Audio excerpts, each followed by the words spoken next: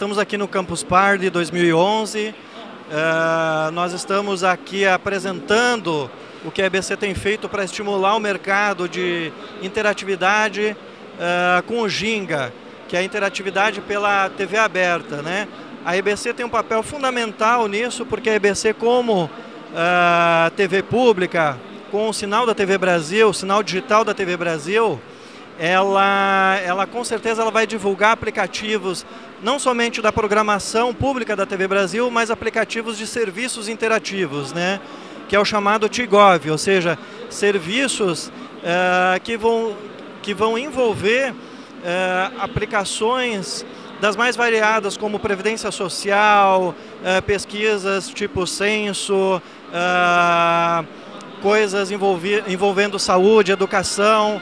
Então nós temos um papel muito importante como EBC, como TV Pública, TV Brasil, na, na divulgação do Ginga, no estímulo aos desenvolvedores aqui do Campus Party, essa garotada aqui que que está louca para desenvolver aplicativos em Ginga e que por enquanto ainda o mercado é tímido, mas é, temos uma perspectiva aí muito boa com os novos televisores uh, com TV digital e cuja fabricação agora, a partir de 2013, será obrigatório a embarcar o middleware Ginga.